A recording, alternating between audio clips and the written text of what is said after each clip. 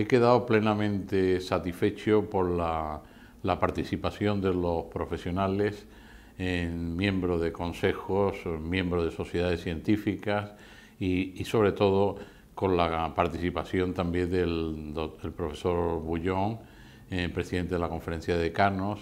eh, y me ha parecido muy importante hoy, en el día de hoy, a pesar de todos los años que conozco por experiencia en este tema, se ha dado un paso muy importante en el sentido de que hay una conjunción, una convergencia entre los, el presidente, las conferencias de Cano, con su presidente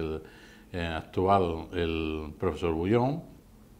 también las sociedades científicas que han participado en esta jornada, lo cual también considero de un gran interés, y por otro lado el Consejo que avala completamente esta idea.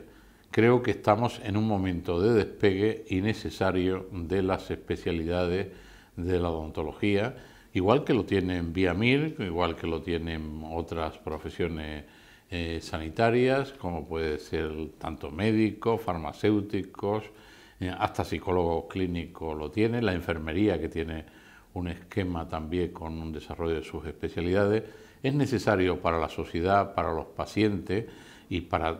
todos los ciudadanos en general, porque se aumentaría la calidad del en el Sistema Nacional de Salud.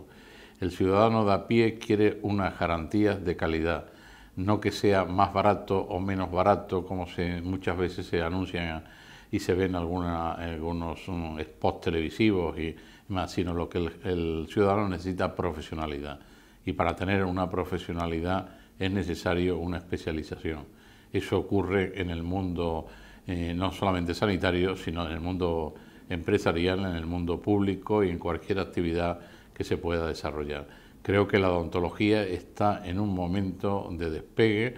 eh, creo que también tiene que afrontar esos nuevos retos de llevar a cabo y acercar al, ciudadano paciente estas inquietudes que realmente mueven a los tres pilares que me parecen importantes, las sociedades científicas, como acabo de decir, las conferencias de decano, en definitiva la universidad,